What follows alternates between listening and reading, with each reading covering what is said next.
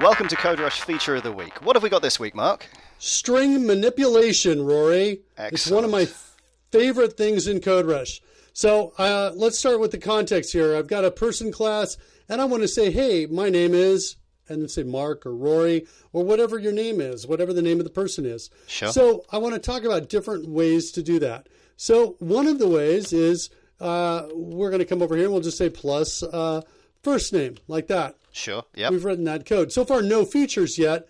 But what's cool is we can come in here, hit the CodeRush key, and choose convert to string interpolation, and we get that, which Mm-hmm. That's is very nice. nice. That adds Yeah. huge readability, doesn't it? After all, you, you haven't got to to put the, the what was the alternative prior to that was to have a little zero in there, um, and then have a, a secondary parameter. If you can if you can have your well-named variables, then this really adds to the readability. It's really nice. Plus, it saves you a lot of typing. All of the characters that were added, this one, this one, and this one at the beginning, are all shift characters. Yeah. They're characters that require two coordinated, synchronized keystrokes. Mm-hmm. Right? You have to have the shift key down when you hit these other keys to get these characters. So they're more complex to hit than the keys that are on the, the home keys, for example, the letter keys. That's right. So CodeRush doing this for me, I'll totally take it. I love it. So that's one of the ways to do it. Another way is to come in here at the CodeRush key and choose use string format, where we can come in and get that code Yep. right there. I'm used to doing that a lot. I don't don't use the C Sharp 7 stuff so much at the moment, uh, so I'm doing this quite a lot myself. Uh, this has been obviously in there since ooh, way back in the day, C Sharp 1 or 2 even.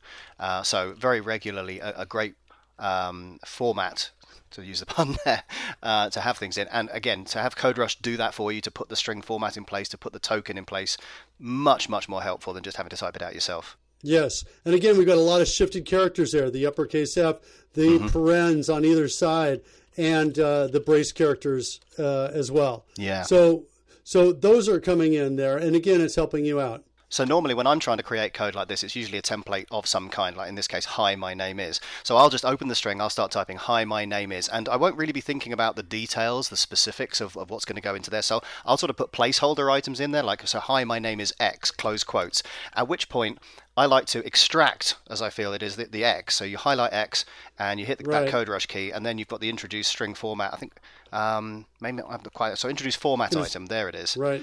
Uh, and that's fantastic because it extracts that, it adds the string format, and it keep, leaves you highlighted on the X portion, allowing you to overtype with whatever it is that is correct for that particular parameter. Exactly. Also, a really cool way to solve this problem. Now, Mm-hmm. by the way, so so when we notice we started with this, but to get here, I had to type that plus, which is a hard again a hard character to get to. It's Mm-hmm. remote. It's far from the home keys. I have to hold the shift key down when I get it. It's kind of a pain in the butt to actually even get to where I was. What Rory is suggesting is instead of doing instead of starting here, start here, finish it up, put a period or. Mm-hmm. whatever you want to do at the end, highlight the, the the placeholder string, hit the CodeRush key, choose introduce format item, and now you can get to first name or whatever you want without ever hitting the shift key, without ever having to hold down the shift key Yeah. to get to it. It's really nice. That's So, lovely. so let me show you two more that are cool.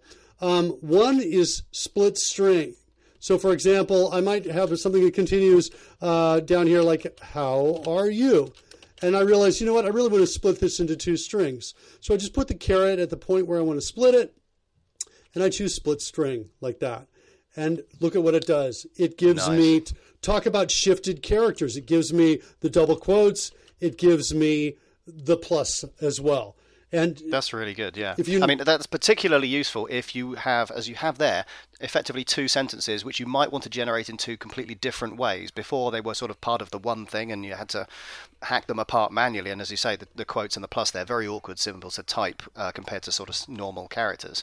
Once these are separate, you can now extract one of them off one way, one of them off another way, two different calculations, get that, um, that algorithm for each one of them implemented separately and doing one thing correctly.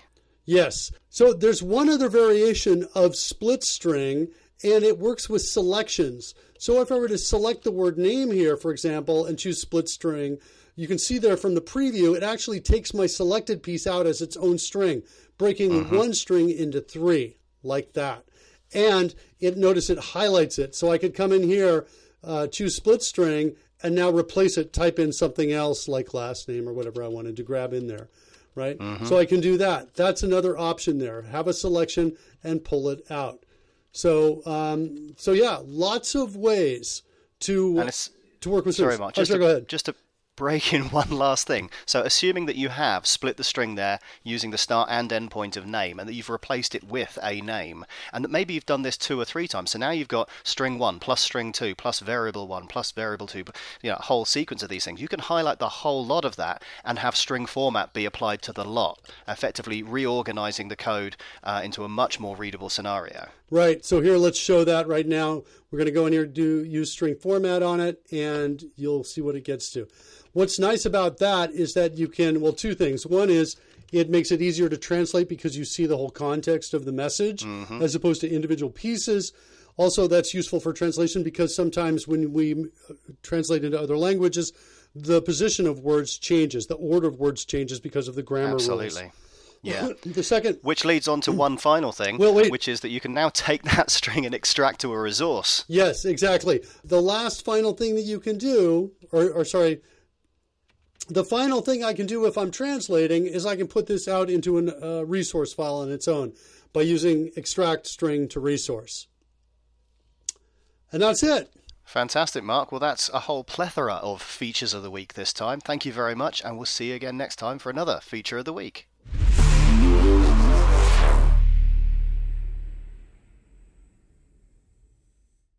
For more Feature of the Week videos, click one of the two video links on screen or select from our playlist. Download and learn more about CodeRush from the DevExpress website, and be sure to subscribe to our channel to receive all the latest CodeRush feature videos. Thanks for watching. See you next time.